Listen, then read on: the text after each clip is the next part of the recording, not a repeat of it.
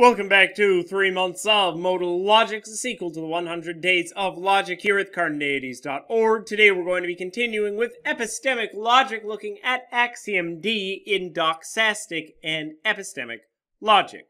So, as you may remember from many of the previous modal logic series, Axiom D kind of looks like this. Basically, we have the strong modal operator implying the weak modal operator. For doxastic and epistemic logic, it's going to look as follows. If S believes that P, then it's not the case that S believes that not P. Or in the case of epistemic logic, if S knows that P, then it's not the case that S knows that not P. If you don't remember, possibility that diamond is defined as it's not the case that it's necessary that it's not the case that something and it's permissible that P is defined as it's not the case, it's obligatory that not P. You might not understand why these are isomorphically similar to the previous versions if you don't remember that fact.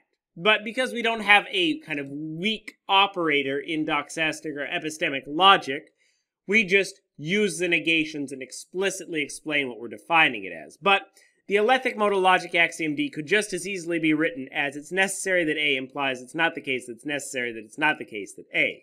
Just as the deontic modal logic axiom D could be as easily written as it's obligatory that P implies that it's not the case it's obligatory that not P. Hopefully that all makes sense, and these axioms are kind of clear, and it's clear how these are the isomorphically similar pair to the other axiom Ds. Basically, if S believes that P, then S does not believe that not P. If S knows that P, then it's not the case that S knows that not P. If Remy believes God exists, then he does not believe that God does not exist. If Ricardo knows that his cell phone causes cancer, then he does not know that his cell phone does not cause cancer. Basically, this is kind of a claim that you don't have contradictory beliefs. You can't both believe one thing and its contradiction. While the epistemic version of this is generally going to be uncontroversial because to violate it is going to kind of violate the law of non contradiction since we're going to say that knowledge implies truth. And we're going to see that in the next axiom T. The doxastic version is not at all. It seems that often people do in fact believe things that are contradictory. And while we might call them irrational to do so, it doesn't mean that they don't in fact believe these contradictions. There's a big distinction to make here between someone having beliefs that don't make sense and someone not being able to, by definition, believe those things a person can have beliefs that don't make sense. People often seem to have beliefs that don't make sense and lead to contradictions.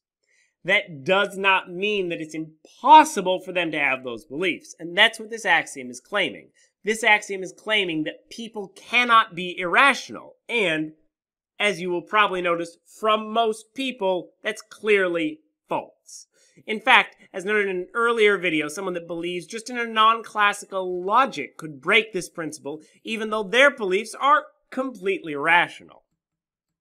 Up next, we're going to move on to our next axiom, axiom T in doxastic and epistemic logic. Watch a new video every single day for 100 days here at carneades.org and stay skeptical, everybody.